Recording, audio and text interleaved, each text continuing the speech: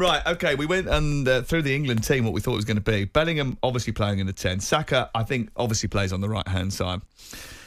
So, So Kane plays four, through the three, three? middle. No, I'm going Four, I'm two, going three, one. Four two four one four three four two four two three one. Yeah, Right. So you're going Declan Rice. it's one of the three that I mentioned: Wharton, Well, come well, which or one? Jones. Me, Mm. Wharton, And you think Gareth will go with. Mainoo. Right. Okay. Um, Saka plays on the right. Yep. Bellingham plays in the 10, Kane plays as the 9, and then it's the left hand side, isn't it? So it? no Phil Foden. Where you've got Foden, Grealish, and Gordon, who are all desperate to get in the team. I don't think Grealish gets in the team. I think Gordon probably will end up being the wild card off the bench, so Foden starts on the left hand side. See, I would. You can only play 11 players. Yes, but I would. I would tweak it because I think Phil Foden is better playing in the ten position. So where are you going to put Bellingham? Because I, I then you said about maybe playing if it going four two three one, then I'd play him with Declan Rice and Bellingham just in front of the of the eight. Sorry. right? So, so- sorry, you need to clarify this, right? Yes. Because you've only got 11 players. Yes, well, listen to So you're then. playing a back four, Yes, then right. you're playing three midfielders. I'm playing. I'm going four two three one. Right. Right. So who are your two holders? Two holders will be Declan Rice Yeah. And Jude Bellingham in inverted commas Wow. because He hasn't played there all year. I'll, I'll tell you tell you for why. I want to get as many attacking players on the pitch as we possibly can because that is our strength. We ain't going to go through winning one nils and two nils because we're not going to keep clean sheets, right? He- he- he he- he- we're talking about what Gareth's going to pick. No, but I'm saying what I would pick. All right. Okay. Yes. So You're not going if to you, get a chance to do it, you know. if you play your four, right, then what happens is when we're in possession, then Jude Bellingham can go and do his marauding and, and, and go his uh, attacking positions, link up Phil Foden, link up with Bukayo Saka. Then Kyle Walker comes in, John Stones goes into midfield, and then you have you have your three at the back, and you still have your overload in midfield. You get protection with John Stones and uh, like he does when he's at Pomp for Man City with uh, Declan Rice. Then you have Bellingham, Foden, Saka, Gordon, Harry Kane up front. So you've got Phil Foden in the ten. You know you're playing four two three one. So Bellingham. Mainoo, and Jones are not going. Are not going to play. No, not in in that four two three one. Well, you're playing France in the quarter final. You're going to play one holding midfield. No, player. no, because if you listen, what I'm saying is John Stones goes into there when we're in position, and then we're not. Jude Bellingham, uh, he stats at Real Madrid. He starts off like they call it high intensity presses, not just in the opposition's box, but he does it. It's 50-50 for Real Madrid. People didn't uh, realise the defensive stuff that he did for Real Madrid. Obviously, when he was on his uh, left hand side, but I don't think Gareth is going to be as adventurous as that. I think what you're saying is I think he will play two actually holding midfield players. And a lot of people were saying about Trent Alexander Arnold maybe playing in now, or if you're going to play a three, because as you said in the um, group stage games, you're going to have to break these teams down. So you might put in there for your passing range.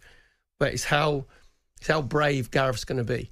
Um, on the left hand side, because you, you you mentioned Phil Foden, when I've seen him play for Man City, he is far better, far more productive in the ten, and he's brilliant in those tight spaces. Because Man City obviously have to break. Totally, absolutely, and I think that is one of the key facets you've got to get out of him. But it doesn't matter where he starts on the pitch; it's where he ends up, and that's what Gareth said in the press conference the last time he spoke to the media.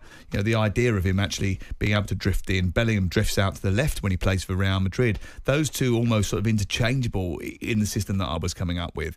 You know, I think Foden's got to play. Of course, he's got to play. It's Phil Foden, he's been terrific all season, but you've got, it's got to fit into a system. The- the- There has to be a system. There has to be security, and, and I'm I'm basing my selection on what I think Gareth will actually do, Do. rather than what I would like him to do. And I go back, and I always go back to this game, England against Hungary. Um, it was in the World Cup qualifiers in 2022. I remember doing the game. It was October 2021, and he had had a load of attention for not picking Mount and Foden in the same team, and everyone wanted to put Mount and Foden in the same team as along the, alongside uh, Declan Rice. He played them as two eights in a 4-3-3 formation. They got overrun, completely overrun. Changed it at half time because it just wasn't working. And ever since then, he's always gone back to being cautious, and that's why I think he'll do it again. We'll hear from him next. There's so much wealth of talent that England have got in certain areas, and such a, a lack of talent in some other areas. Not necessarily even a lack of talent, but a lack of tried and tested players that you can call upon. You know, that midfield area, They've named Alexander Arnold, Conor Gallagher, Jones, Mainoo, Rice, and Wharton as the six midfielders in the squad. But that's just the ones that are going to play deeper, isn't it? I mean, because obviously Maddison is a midfielder, but he's you know in the forward section. I think actually the the players that are at risk are really interesting. With all due respect, I think James Trafford is going to miss out. Yeah. that's one of the the, the seven that I think are, are, is going to go. I think. Definitely one of the one of the one of the backs is, is, is going to go. The centre backs. I don't think Lewis Dunk's going to go. You don't think Dunk's going to No, go? No, because obviously in the uh, last game that he played, then he didn't acquit himself particularly well. I've got Shaw doesn't go, Quansah doesn't go, and one of Quansah, Guéhi, and Dunk. I've got um, Jarell Quansah doesn't go. I've got Dunk doesn't go, and I've got Luke Shaw. Like obviously question mark, but he's gonna he's injured basically, isn't he? It's, it's a massive, massive gamble. Here's another one for you. I don't think Maddison goes. No, I've got that as well because at the end of the season his form wasn't particularly great for Spurs. He's brilliant at the beginning of the season, hit the ground running, had a great little understanding with Son. Then he obviously got his injury. Then when he come back, I think the way that Spurs were playing, and I said it when I was doing the co-commentaries, when they was having the inverted fullbacks coming in, obviously Porro one side, Udogie from the other, James Maddison didn't have any sort of space or area to play in, and he started dropping deeper and deeper. So I think his form dropped off, so I don't think he's going. And probably unluckily, Jarrod Bowen. I don't think that he'll be in the squad. Okay, interesting. Um, I've underscored Eberechi Eze. I personally would have him in the squad Mm. because he was brilliant. And again, in tight areas, you're going to need somebody to break Yep. teams down. And even if he's obviously on. And that's bench, why I think uh, when I've said I've underscored him, I think it's a big week for him. I think if he can play well in these two friendlies, he gets on the plane. And I think he, Bowen, Maddison, Grealish, they're all under the microscope this week. yeah, I think probably Jack Grealish has got enough in the bank for what he's done before. So um, Maybe. And, and again, again, he gives you that tight area if he comes on left hand. Sometimes I want to see him go on the outside a little bit more because he obviously comes in because he's right footed. But again, he he might be that maverick that you're going to need in that last 30 minutes. Does one of those midfielders m- miss out? so I'm looking at, I think Curtis Jones.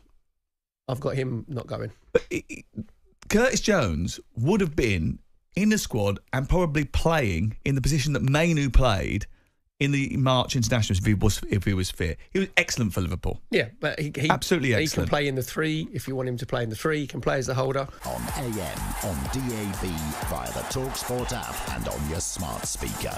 TalkSport.